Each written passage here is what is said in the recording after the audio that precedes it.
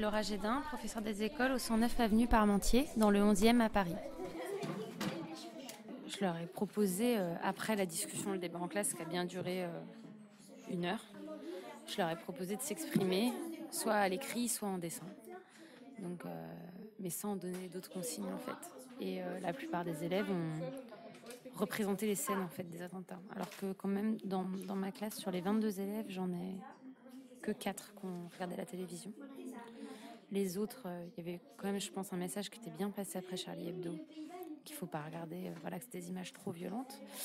Et malgré la non-exposition euh, aux images, euh, en ressort des dessins très réalistes de scènes, voilà, donc il y a tout. Il y a des élèves qui, bah, étaient au stade. Il y en a qui étaient au stade, donc eux ils ont vécu le truc, donc qui ont dessiné le stade avec le bruit des explosions. Il y en a qui ont qui ont dessiné euh, bah, des, hommes armés, il y en a qui ont dessiné la police, il y en a qui ont. Euh, qui aussi dessiné des messages des sports. Après, il y a des choses après, voilà, avec le Bataclan qui aujourd'hui est fermé. C'était quelque chose devant lequel on passe régulièrement, même quand on va en sortie scolaire. On, passe souvent devant.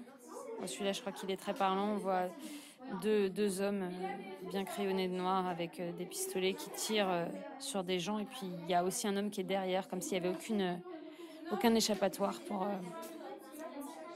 pour les citoyens. Bon là voilà, on a par exemple des élèves qui ne se sont pas exprimés. Il n'y a rien dans leur cahier, donc voilà, ça m'étonne pas en voyant le prénom de l'élève. C'est un enfant qui est très réservé, qui a du mal à s'exprimer, donc voilà. Moi, c'est ma maman qui m'a dit qu'il y a des. Et puis là, la phrase n'est pas terminée. Je pense qu'il y a aussi beaucoup d'émotions, donc euh, pas la possibilité de, parler, d'écrire.